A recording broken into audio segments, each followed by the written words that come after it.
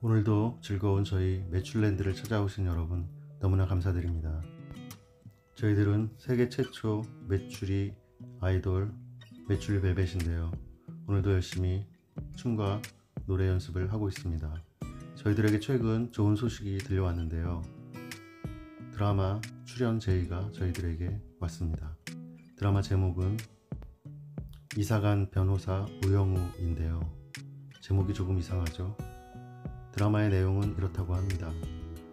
어느 날 밖에서 놀다가 집에 와보니 식구들이 이사를 갔다는 내용인데요.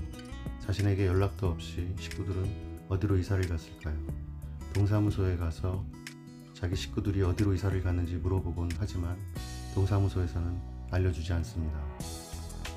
그러다가 결국은 자기 스스로 독립해서 변호사가 돼서 많은 어려운 사건들을 멋지게 해결해 나가는 것이 이 드라마의 기본 줄거리라고 하는데요.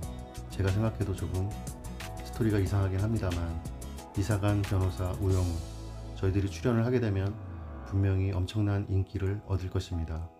그러면 저희들은 그 인기에 힘입어 데뷔 앨범도 내고요. 데뷔 앨범에서 많은 히트곡이 양산될 것입니다. 저희들의 꿈은 빌보드지 1위를 차지하고 아카데미 시상식에서 멋진 상을 획득하는 건데요. 그러기까지 여러분들의 많은 박수와 성원이 필요합니다. 최근 저희들처럼 귀여운 미니 메추리를 집에서 키우고 싶어 하시는 분들이 부쩍 늘었는데요. 그건 바로 저희들이 너무나 모든 일을 잘 해내고 있기 때문이라고 생각합니다. 저희들은 가끔 저희들끼리 서로 싸워서 상처도 있고 하는데요. 그럴 때는 기획사에서 저희들의 머리에 치료를 적절히 해주고 있습니다. 미니 메추리들은 서로 싸우고 공격하고 하면은 가끔은 다른 방을 쓰게 하는 것도 방법입니다. 그렇게 며칠이 지나면 서로 애틋한 감정이 생겨서 다시 합쳐놓아도 싸우지 않는 경우가 많은데요.